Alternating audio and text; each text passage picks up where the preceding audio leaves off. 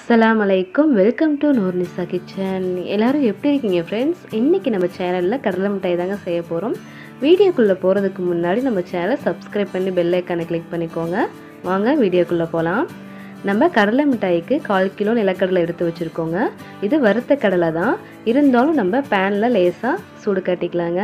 அப்போ தான் சாப்பிட்றதுக்கு நல்லா கிறிஸ்பியாக முறுமுறுன்னு இருக்கும். இப்போ லேசாக வறுத்துக்கிட்டோங்க. இப்போ நம்ம கேஸ் ஸ்டவ்வை ஆஃப் பண்ணிடலாம் ஆஃப் பண்ணிவிட்டு கடலையை ஒரு பிளேட்டுக்கு மாற்றிடலாங்க நம்ம கடலை இந்த மாதிரி தோல் எடுத்துக்கலாங்க.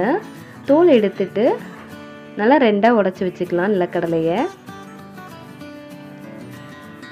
நம்ம நிலக்கடையில் இந்த மாதிரி சொத்த கடலை இருந்தாலும் எடுத்துடலாங்க அது சாப்பிடும் போது ஒன்று வந்தால் கூட கடலை மிட்டாய் டேஸ்ட்டே மாறிடும் கால் கிலோ நிலக்கடலைக்கு கால் கிலோ வெல்லம் எடுத்து வச்சுருக்கோம். நம்ம எடுத்து வச்சிருக்க வெள்ளத்தை ஒரு பேனில் மாற்றிக்கலாங்க வெள்ளத்தை சேர்த்துட்டு ஒரு டம்ளர் தண்ணி ஊற்றிக்கலாம் தண்ணி ஊற்றி நல்லா வெள்ளம் கரையிட்டுங்க. வெள்ளம் நல்லா கரைஞ்சதுக்கப்புறம் நம்ம வெள்ளத்தை வடிகட்டிக்கலாம். அதில் தூசு குப்பெல்லாம் இருந்தால் வந்துடுங்க இப்போ வெள்ளம் நல்லா கரைஞ்சிருச்சு. நம்ம வடிகட்டிக்கலாம்.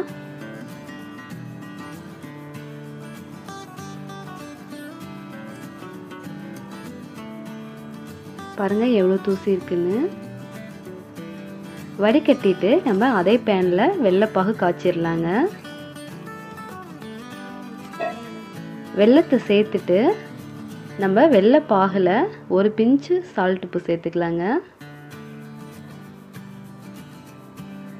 இனிப்பு எடுத்து கொடுக்கறதுக்காக நம்ம சால்ட்டு சேர்த்துருக்கோம். இப்போ நம்ம ஒரு பிளேட்டில் நெய் அப்ளை பண்ணி வச்சிடலாம் நம்ம இந்த பிளேட்டில் தான் கடலை மிட்டாயை வைக்க போகிறோங்க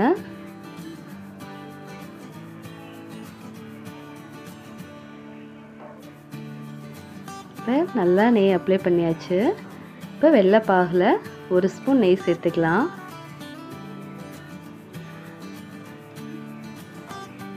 கடலை மிட்டாயில் வெள்ளைப்பாகு தாங்க ரொம்ப ரொம்ப இம்பார்ட்டன்ட் இதை வந்து கரெக்டாக நம்ம வெள்ளைப்பாகு காய்ச்சணுங்க.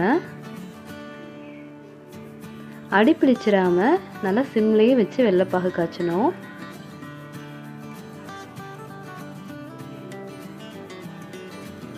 நல்லா திக்காக வரணுங்க வெள்ளைப்பாகு.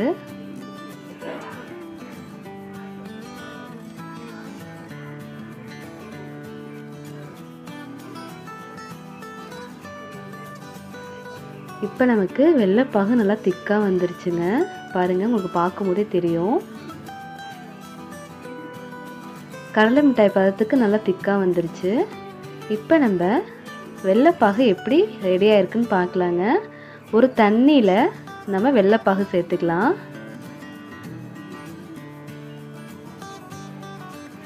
வெள்ளைப்பாகு சேர்த்துட்டு நல்லா கையில் உருட்டணுங்க இந்த வெள்ளைப்பாகு எடுத்து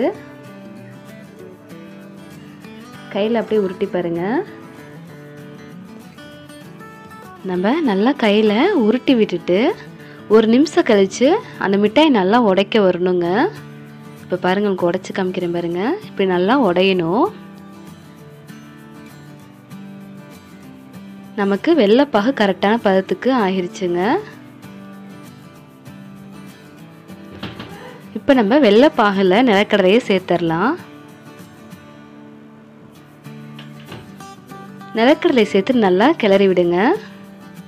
நம்ம சிம்மில் வச்சுட்டே தாங்க நிலக்கடலை சேர்க்கணும். நம்ம நல்லா சீக்கிரமாக கிளறி விட்டலாங்க இல்லாட்டி செட் ஆயிரும்.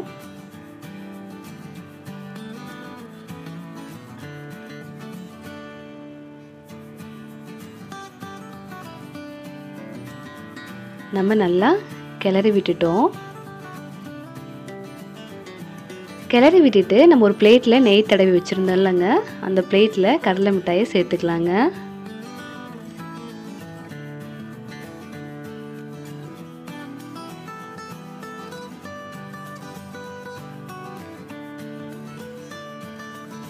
நம்ம எல்லா கடலை மிட்டாயும் சேர்த்துட்டோங்க. நம்ம பிளேட்டில் நல்லா கடலை மிட்டாய் செட் ஆகிற மாதிரி நல்லா ப்ரெஸ் பண்ணி விடலாங்க. நம்ம கடலை மிட்டாய் நல்லா ப்ரெஸ் பண்ணி வச்சுருக்கோங்க. நம்ம கடலை மிட்டாய் சேர்த்துட்டு ஒரு பத்து நிமிஷத்தில் கட் பண்ணி வச்சுக்கலாங்க. நமக்கு கடலை மிட்டாய் செட் ஆயிடுச்சுன்னா கட் பண்ண முடியாது. கடலை மிட்டாய் பிளேட்டில் போட்டு ஒரு பத்து நிமிஷத்துலேயே கட் பண்ணி வச்சுக்கலாம். கட் பண்ணிவிட்டு ஒரு ரெண்டு மணி நேரம் கழித்து எடுத்துக்கலாங்க.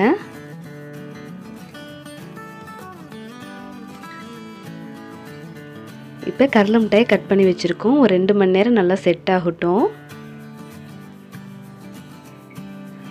நல்லா ரெண்டு மணி நேரம் செட் ஆனதுக்கப்புறம் நம்ம கடலை மிட்டாய் எடுத்து பார்க்கலாங்க. நமக்கு கடலை மிட்டாய் சூப்பராக செட் ஆகி வந்திருக்குங்க. நைன்டிஸ் கிட்ஸோட ஃபேவரட் மிட்டாய். நம்ம குழந்தைங்களா இருக்கும்போது இதுதான் வாங்கி சாப்பிடுவோம். நம்ம குழந்தைங்களுக்கும் வீட்டிலே செஞ்சு கொடுக்கலாங்க. ரொம்ப டேஸ்டியாகவும் இருக்கும். ரொம்ப சீக்கிரமாக ஈஸியாக செஞ்சிடலாங்க. இந்த வீடியோ உங்களுக்கு பிடிச்சிருக்கும் நம்பரே நம்ம சேனலுக்கு சப்ஸ்கிரைப் பண்ணுங்கள் ஷேர் பண்ணுங்கள் லைக் பண்ணுங்கள் கமெண்டில் எப்படி இருந்துன்னு சொல்லுங்கள் ஃப்ரெண்ட்ஸ் தேங்க்ஸ் ஃபார் வாட்சிங்